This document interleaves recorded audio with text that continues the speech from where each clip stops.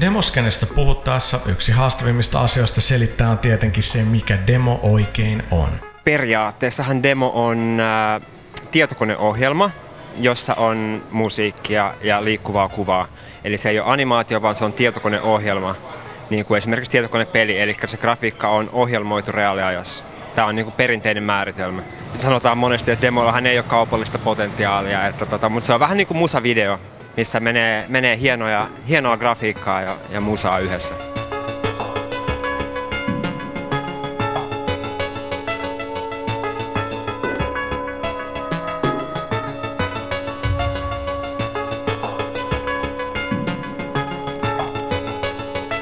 Yksi tärkeimmistä asioista skenessä on tietenkin oma alias, sillä taiteilijanimi pitää löytyä. Hänlen pitää kuulostaa kekseliältä ja siistiltä, mutta samalla sellaiselta, ettei sen miettimiseen ole juurikaan kulutettu aikaa. Mun tekijänimi on FTHR, eli tota, näitähän silloin keksittiin 13-vuotiaana. Tää on, tota, mä olin niin laiha poika silloin, niin silloin mun nimestä tuli Feather, eli höyhen, niin sitten jossain vaiheessa sit lähti vokaalit pois, ja nyt se on jäänyt FTHR. Monissa alakulttuureissa yleensä niin kuin sama juttu on graffitiäjillä on nimiä ja muusikot ottaa ihmen nimiä ja DJ ottaa DJ-nimiä. En tiedä, se on hyvä sosiologinen kysymys. Miksi ei tehdä omalla nimellä? Ehkä se olisi vähän tylsän kuulosta, en tiedä.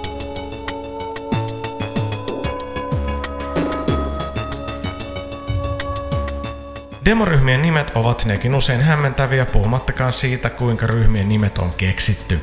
The Bomb-nimi tunnetaan globaalisti, mutta harva tietää, mitä lyhenne tarkoittaa, saati mistä groupin nimi on lähtöisin. Ryhmän nimi on TPOLM, eli The Planet of Leather Moomins, eli suomeksi nahkamuumien planeetta.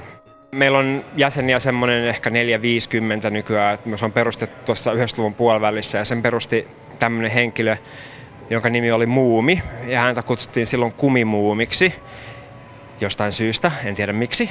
Ja tota, hän sai sitten koulukaveriltaan muumipeikon, mikä oli päällystetty tai siihen oli tehty semmoinen musta, semmoinen sadomasokisti nahkapuku, ja se oli sitten se nahkamuumi, ja siitä se lähti.